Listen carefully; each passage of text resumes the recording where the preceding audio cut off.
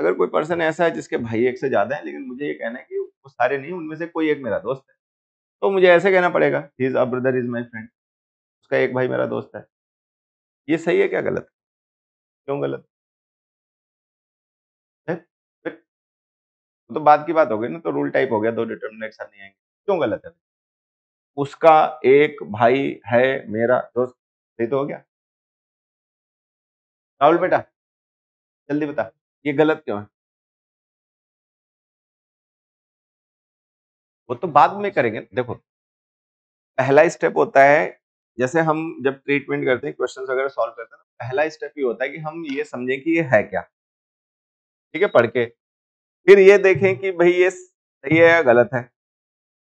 और अगर गलत है तो क्यों गलत है और अब कैसे सही करें? तुम सीधे आंसर पे पूछ जा रहे हो। मैं पूछ रहा हूँ, गलत हम क्यों माने? इसको सही मान लो। मुझे मीनिंग तो समझ में आ गया ना, इसका क्या मतलब है? तो हमने पढ़ के तो समझ लिया क्या लिखा हुआ है। उसका एक भाई मेरा दोस्त है।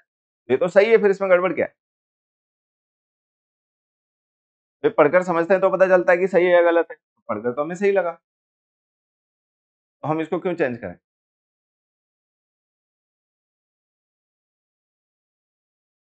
वही, नहीं लग रहा अच्छा सुनने में ठीक नहीं लग रहा।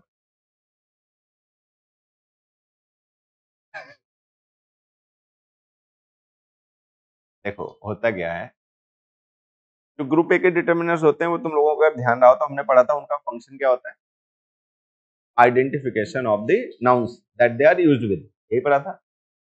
तो जैसे हम पजेसिव यूज़ करें या डेमोन्स्ट्रेटिव यूज़ करें या आर्टिकल्स यूज़ करें, वो नाउन्स को डिटरमिन करने के लिए लिखे जाते हैं। तो डिटर्मिनर आइडेंटिफाई करने के लिए आपने एक लिख दिया तो वो एनफ होता है। आइडेंटिफिकेशन हो ही गया, फिर दूसरे की ज़रूरत नहीं रहती, एक तो ये वजह दूसरा देखो, अगर हम किसी भी नाउन के साथ में हिज लिख रहे हैं his car his house his friend his life तो वो नाउन जिसके साथ हिज लिखा गया पजेसिव लिखा गया, वो डेफिनेट या इनडेफिनेट डेफिनेट पता चल गया ना किसका? भाई मान लो कह दूँ कि दिस इज़ अ फ़ोन तो ये नहीं पता किसका फ़ोन है। मैं कह दूँ दिस इज़ माई फ़ोन तो डेफिनेट हो गया, मेरा है फ़ोन है कि नहीं? तो अगर हम कहते हैं दिस इज़ अ फ़ोन तो उससे ही पता नहीं चल पाया किसका फ़ोन है। हम माई लिख देते ही, वो डेफिनेट हो जाता है, किसका है? तो वो स्पेसिफिक हो गया।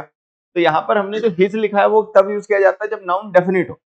और ए कब यूज़ किया जाता है? इनडेफिनिट हो। भाई एन आर्टिकल उन नाउंस के साथ यूज़ किए जाते हैं जिनकी आइडेंटिटी इनडेफिनिट हो। तो जब हिज लिखा तो इनडेफिनिट कैसे? और जब ए एन लिखा तो फिर डेफिनिट कैसे? तो ये इस वजह से एक दूसरे के साथ में गलत होते हैं, इनका यूज़ नहीं करना चाहिए। तो बोलने में भले ही अच्छा लग रहा हो, लेकिन ये जो हमने लिखा ये गलत तो अब आगे बात हमें कहनी हो तो फिर हम कहें कैसे? मान लो अगर हमें ये बात कहनी हो कि कोई एक पर्सन है, उसके दोस्त भाई का ही है, लेकिन उनमें एक ही भाई मेरा दोस्त है तो बात मैं कैसे कहूँ?